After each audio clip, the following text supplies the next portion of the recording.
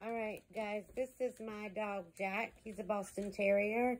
As you can see, he has a, nope, I didn't touch it. I didn't mean touch it. I didn't touch it. I just touched your back. He's got a tumor on his mouth here. See, I got tumors. And I got a giant tumor on my leg. This is his leg tumor. And it is um, getting necrosis. Today is his last day before he meets the Rainbow Bridge. We're going to take him for a walk because that's his favorite thing to do. He just got a, a burger. So he's going on his last walk. I'm sorry, buddy.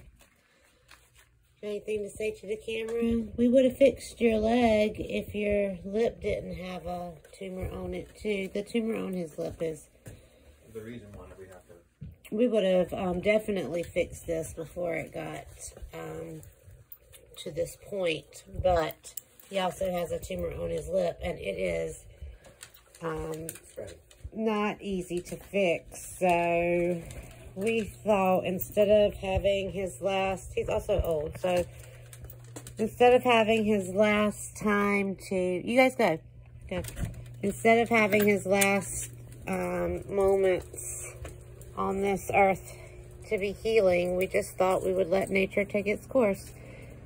Um, and it's got to the point now to where he's, uh, He's happy to go walking. It's got to the point now to where he's, um, he cannot go fast. He, his doesn't have, he's having mobility issues and he doesn't really get around well.